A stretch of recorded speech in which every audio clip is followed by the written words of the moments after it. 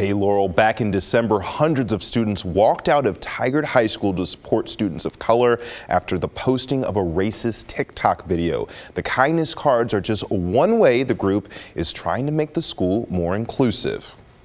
The main point of this club and organization is to just like kind of just combat hate and like hate speech and all that stuff with just like positivity. The group No Place for Hate is in the middle of a kindness card campaign. Students write encouraging positive messages on these cards and they're delivered to other students in class.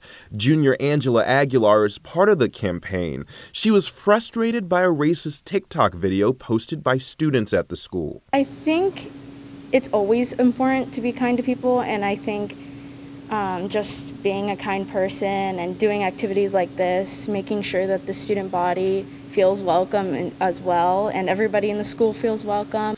Hundreds of the kindness cards have gone out to students the past four years. Rob Parness is a learning specialist and the school's equity coordinator. When activities like this come up now, there's a bit of a different lens and it's seen in a little bit of a different light, maybe seen as more necessary.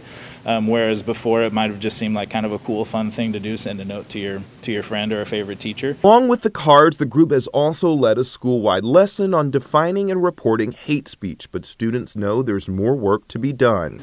I think that our progress is slow, but it's definitely going somewhere, and I'm glad that at least we're making some progress. The message is starting to sink in that um, you know sharing kindness and sharing positivity really do have an impact on people at an individual level, and so I do think that this year in particular, um, it's really important to do.